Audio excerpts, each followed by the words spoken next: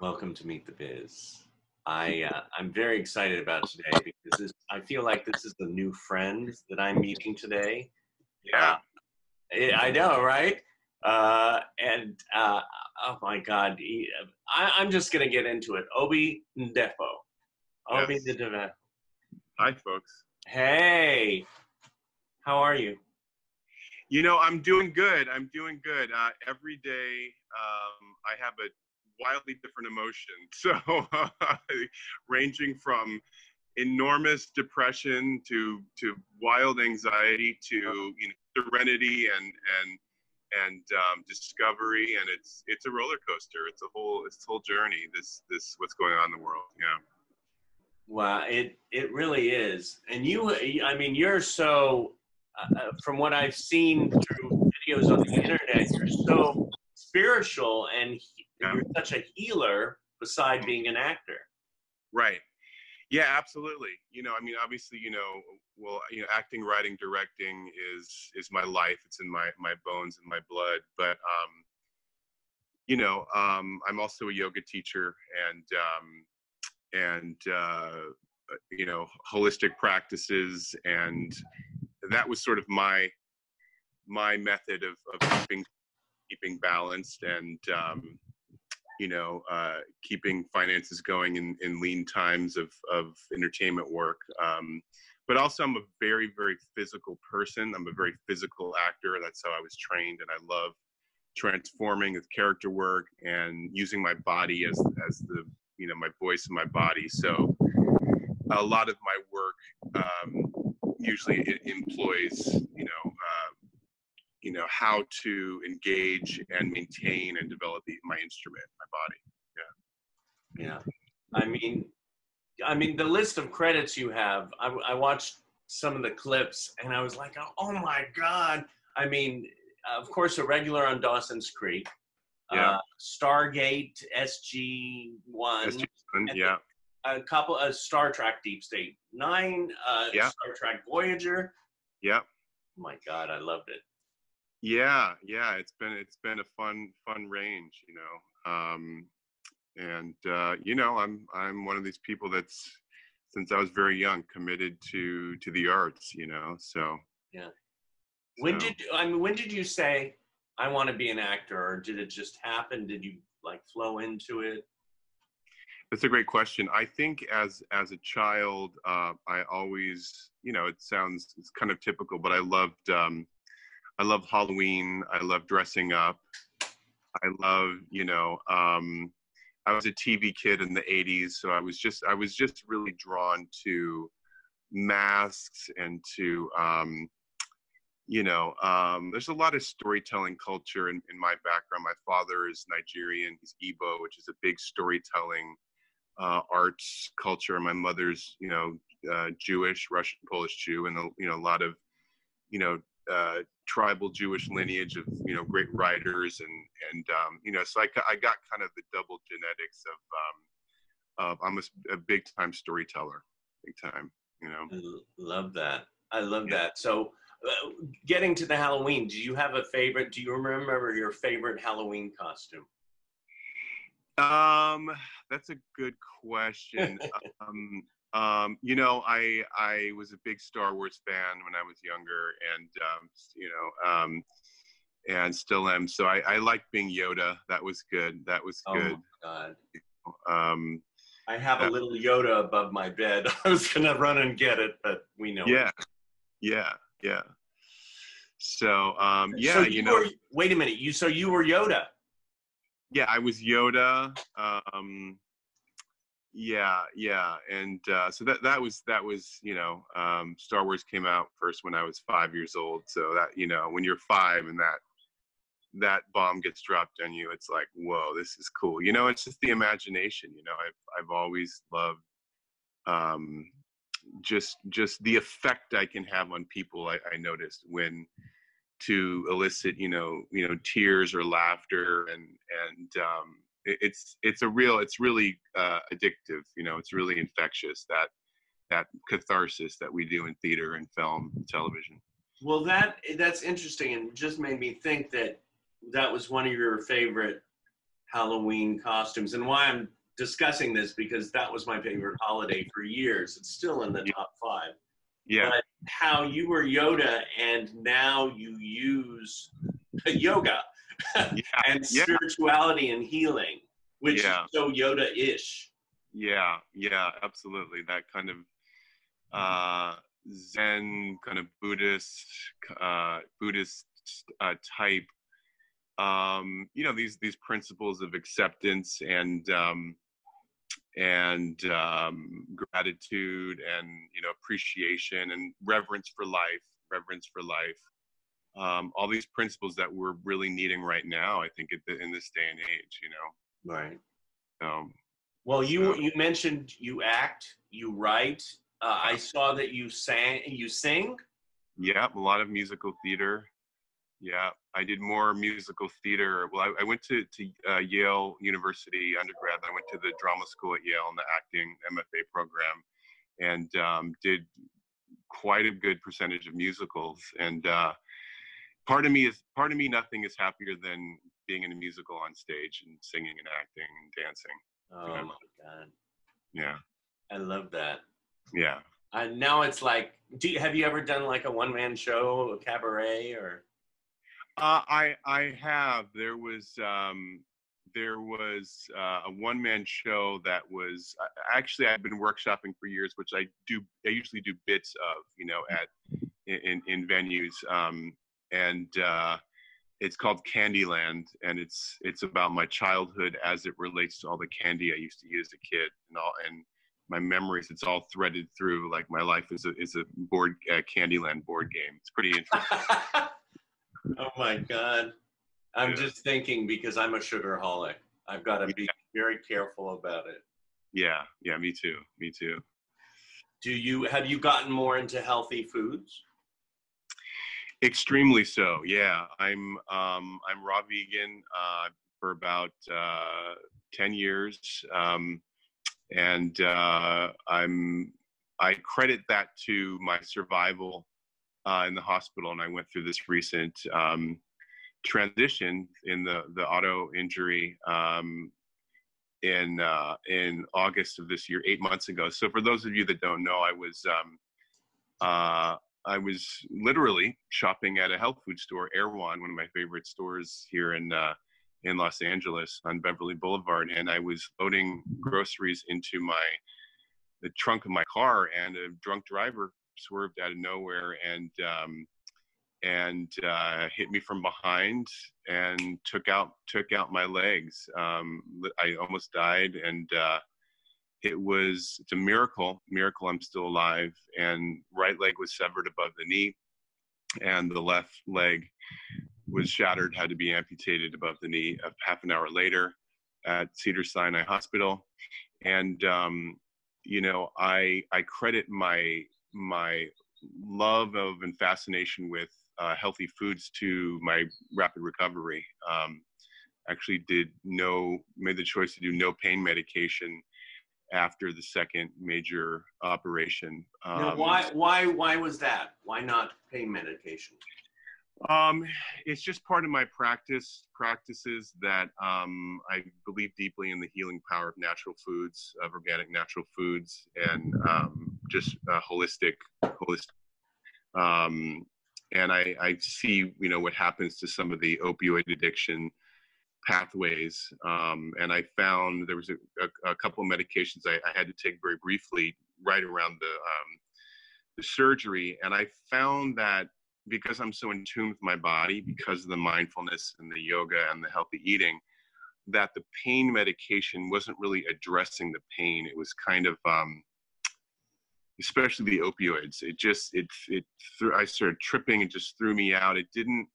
So I did a lot of biofeedback and and in you know myself uh, you know meditating and mindfulness. And I I realized that the um, a lot of the the pain was actually my body trying to heal.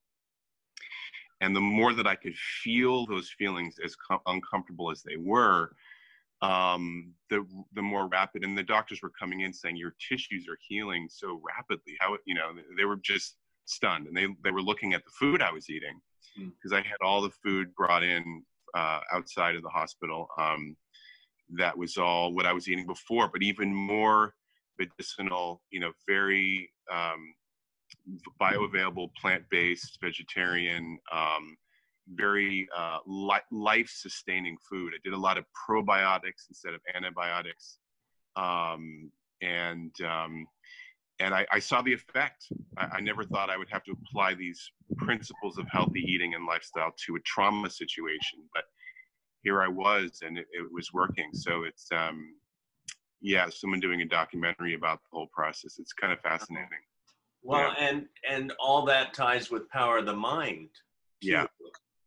Yes. Which, yeah. Yeah. Yeah. Power of the mind. It was a real opportunity for me to use positivity in a scenario where you know I'm still going through it, where it's you know so, you know you could feel like your life is over. You know, my legs are gone above the knee, and I'm an actor. How, you know, how do I how do I survive? How do I um, uh, how do I adjust? How do I um, how do I view how do you view uh, a life changing circumstance like this? You know, that's a that's a question that I had too. With.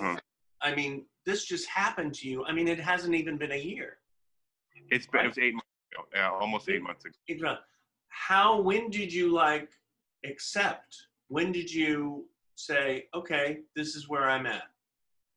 Uh, I'm going to tell you something that's going to sound kind of unbelievable, but I have a feeling that the moment that it happened, when I sort of woke up on my back a few minutes later, amazing, this amazing chef who's driving by pulled over and found me. I literally think, David, within a few minutes, something in me rose up and saw what was going on and had the the wherewithal to understand that there was something very profound and that on the spot I had to open wide sort of the aperture of my being and accept it on the spot. Yeah. And and uh, to to a certain degree, it's been a gradual step process since then.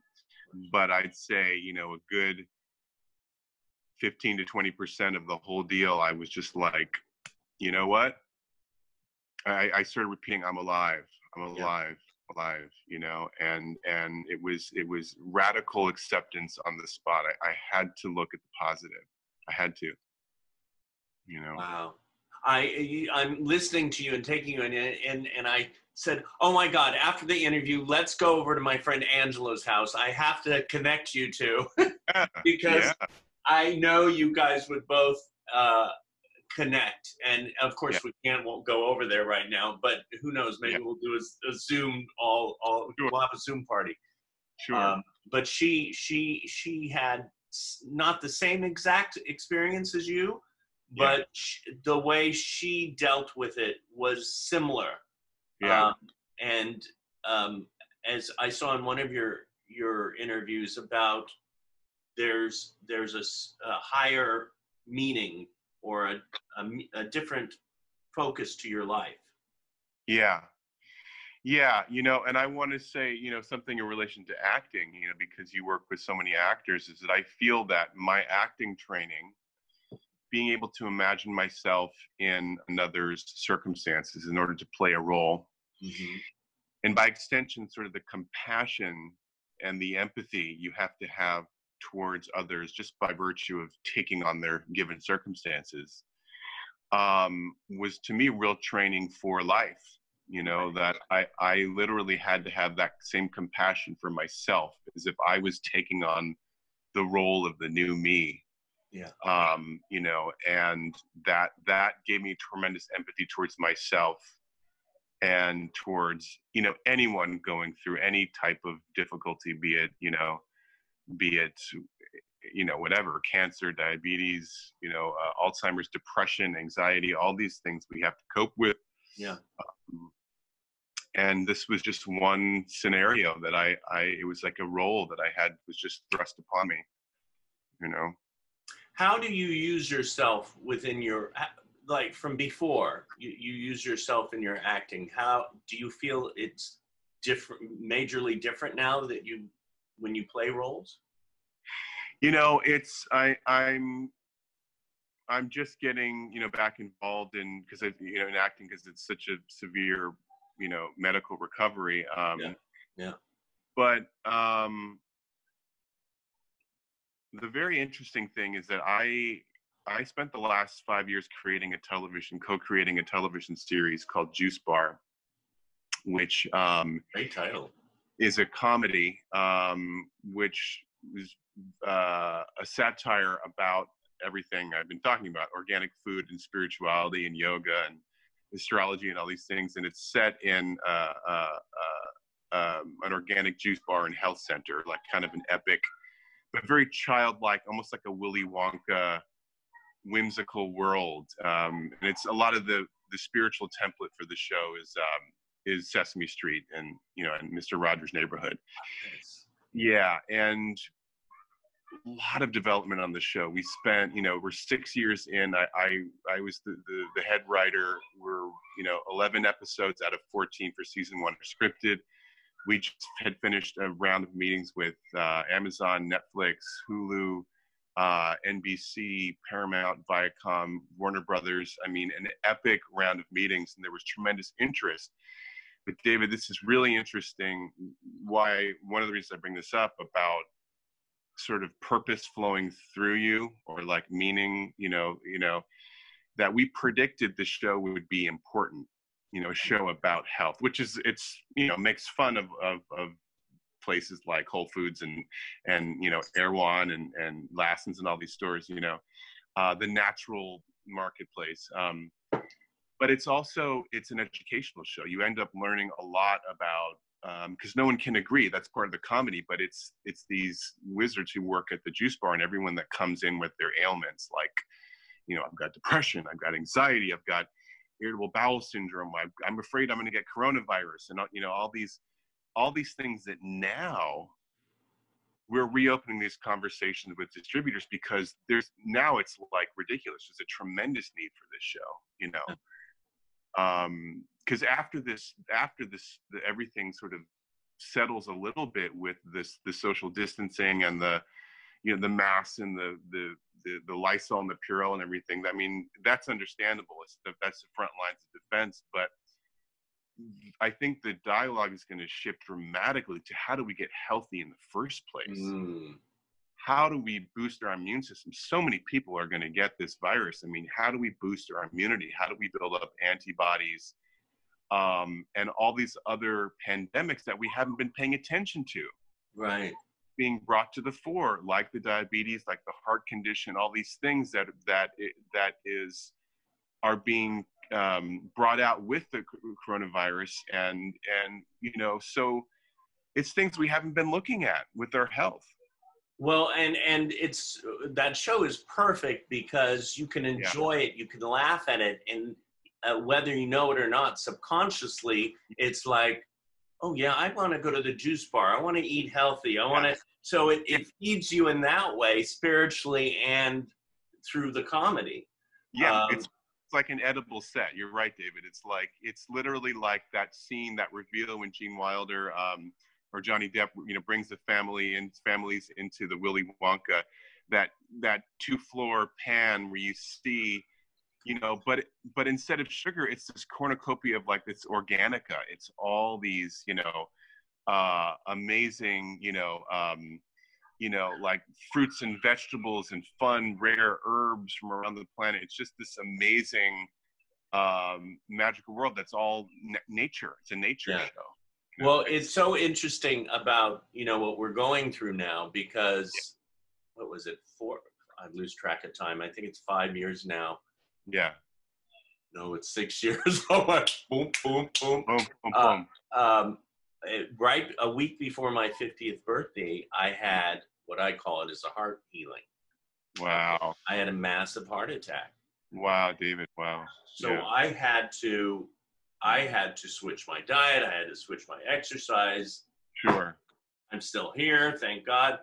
But yeah. I noticed, you know, I started slipping a little and, you know, a little more, another cookie or another ice, you know, green tea ice cream. But, um, yeah. but then with this happening and having to uh, self distance and stay home and cook my own food, I have gone back to that um, the beginning of that time where I'm really eating healthy again. I'm eating a lot of vegetables and fruit. Right. Good and I'm cooking better. And I, I did buy a pack of cookies the other day, but you know, once in a while you can splurge. Sure. There you go. There you go. but it's just I loved your vision of the Willy Wonka because I grew up that I could keep on wanting to say, "What are you, an Aquarius?" Yeah. Yeah. Yeah. you are. No, no, I'm a Scorpio. Oh, okay, okay. I don't know a lot about it, but but I'm I'm so identifying with you in so many ways because I Sure. grew up loving Halloween. I love, like you said, Willy Wonka.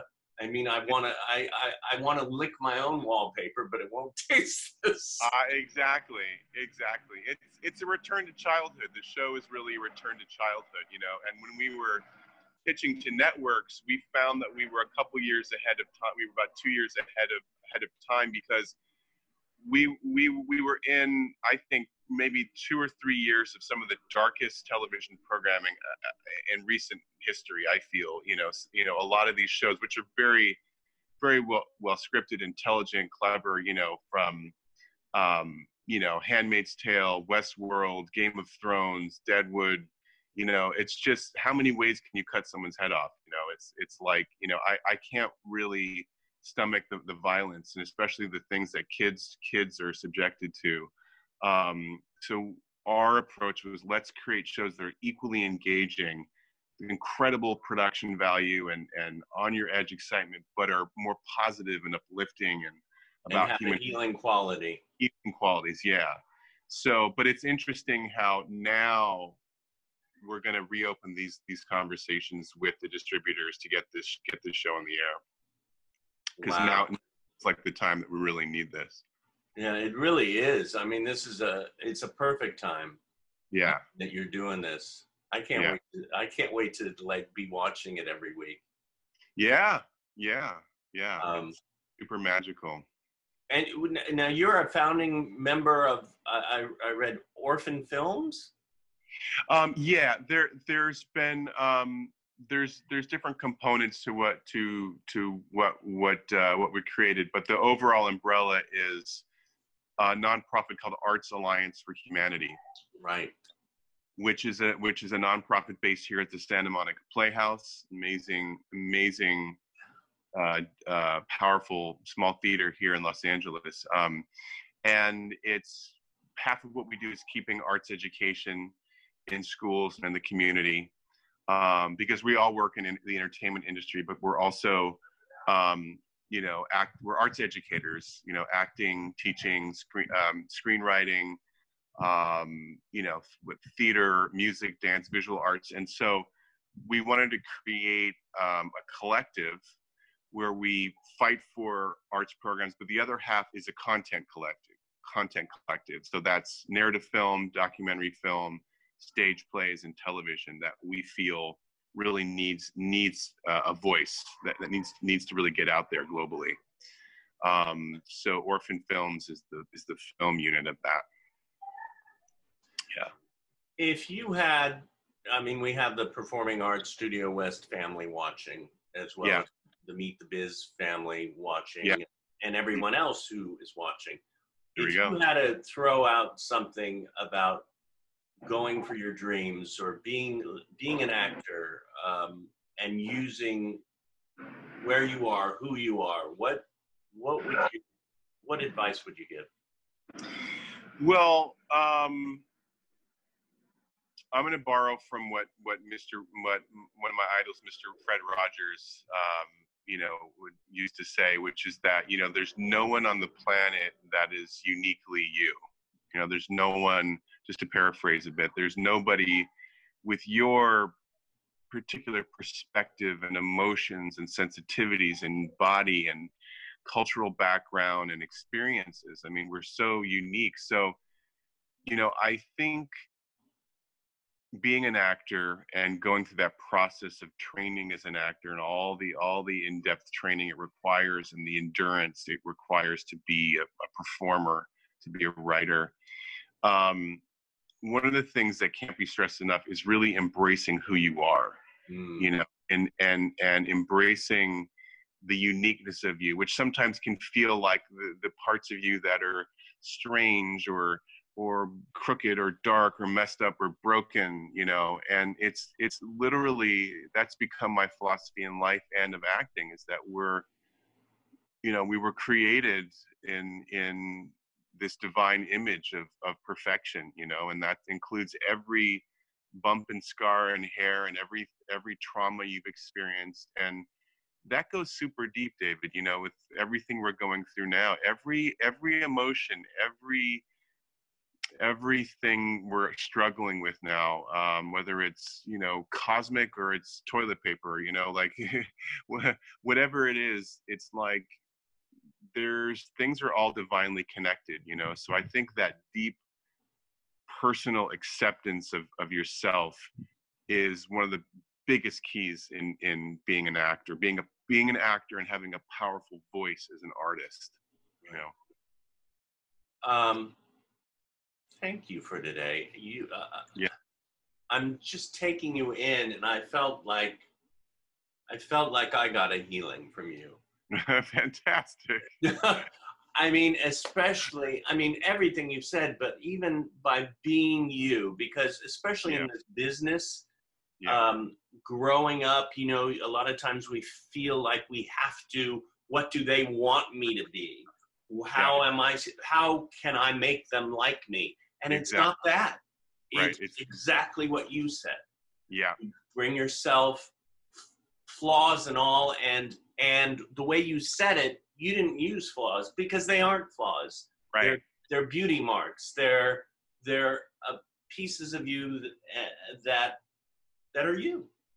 Exactly, and there's something that happens when you start to come through with being genuine and authentic as an artist. And this can be when you're playing something close to yourself or a total transformative character role. But when you start to speak from that authentic, true place in your soul and your voice and your heart, it, you start to see that it really impacts people. And they start to not feel so alone. They start to feel included you know? So i i totally agree david. It's like it's we, we go through that process of first wanting to fit in and modeling based on other people. And you start to figure out that's that's a right. that's a fun house that's a hall of mirrors you know where you're you know make yourself nuts trying to fit into what you know there's no there's no rules there's no rules and that extends to the industry how you your trajectory of your career is going to be uniquely yours you know right. so well thank you um, again and let's keep in touch uh, we have to do yeah i seriously want to get like so many things to talk about yeah i know i was like oh i, I want to do more but uh, we will yeah. We yeah. will. And come visit us at Performing Arts Studio West one of these days when we're open up again. Absolutely, absolutely. I, I want to make myself available to. It's a good time, you know, for me to be hyper creative, and um, and I'm getting into prosthetic legs now, and that that whole process. I just, you know, just um, getting going with that and you know fundraising for the super high tech kinds and everything and i saw the gofundme. I, I yeah. yeah. There's a, there's a gofundme. I'm i'm going for the super robotic robotic legs or you know as an actor i can really be very versatile because i did you know do stunts and everything and wow. and you know perform on stage. So to have that, those high functioning prosthetic legs is really important to me so is do you have a website or is there uh, somewhere? Yeah you know the best place actually is to go to the gofundme site because it has okay. so much so much of the videos and background and everything that's happened to me since the accident and and where my journey is now with the artistic work. Um, but it's you know look up my name on Go, GoFundMe, um, um, OB, OBI, and then NDEFO, my last name but it, it has uh, ironically the most fully comprehensive you know um, just media and descriptions about what i'm doing you know and what's what i'm going through. So thank you. I will i'll be seeing you around. Yes for sure. This is this we're planting uh, seeds here for the future for for sure. Yes. Thank you. Okay you're welcome. Take care. You too. be safe. Okay bye bye